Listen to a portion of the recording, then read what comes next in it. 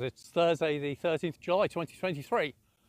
Looks like I got it right about the forecast with the US CPI data and its impact on Bitcoin. The actual data came out when it was released was slightly better than expected, with inflation tracking at about 3% instead of the forecast 3.1%.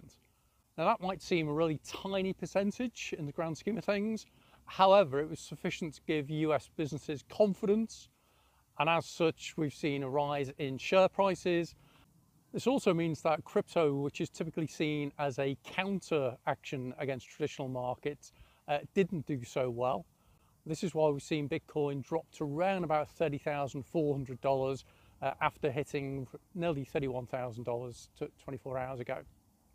So it's still a volatile market. Let's see what happens next.